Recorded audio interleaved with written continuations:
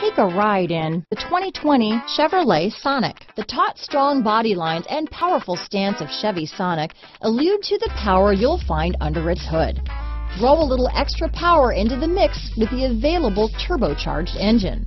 So where's the sweet spot? Behind the wheel. Here are some of this vehicle's great options.